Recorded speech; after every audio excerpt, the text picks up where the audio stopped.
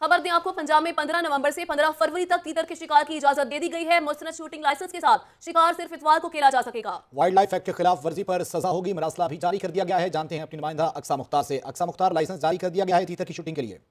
बिल्कुल महकमा तहफ़ जंगल हयात ने वाइल्ड लाइफ एक्ट के मुताबिक तीतर के मौसम मौसमी शिकार का ऐलान कर दिया गया है। शिकारी हजरात को इतवार को मुस्लिम शूटिंग लाइसेंस के साथ पंद्रह फरवरी तक जो है, तीतर का शिकार खेलने की इजाज़त होगी और इसके मुताबिक जो है, अगर गैर कानूनी शिकार के मुतब अफराद को एक से पाँच साल तक कैद, बीस या तीस हज़ार रुपये तक जुर्माना भी हो सकता है। इसके साथ साथ यहाँ पर अहम बात यह है कि तीतर के शिकार की इजाज़त तो है, लेकिन तीतर जो है, आमतौर पर रखने की, घर में रखने की जो है, वो इजाज़त नहीं दी गई और पिछले तकरीबन तेरह साल से ये जो है, यही सिलसिला जो है, वो चलता आ रहा है। महकमा जंगली हयात की अनोखी बनतक है, जिसमें से तीतर जो है वो रखने पर हैं पाबंदी क्योंकि टीचर के जो लाइसेंस है, वो तेरह साल पहले से ही जो है बंद कर दिए गए हैं। सिर्फ़ वही लोग टीचर घर में रख सकते हैं, जिन्होंने, जिनके पास पुराने लाइसेंस है उनको हर पाँच साल बाद जो है वो रिन्यू करवाते हैं। तकरीबन पाँच सौ रुपये जो है इस लाइसेंस की कीमत है, जबकि शिकार खेलने के लिए तकरीबन तेईस सौ रुपये का जो शिकार, का शूटिंग लाइसेंस है, वो लेना पड़ता है।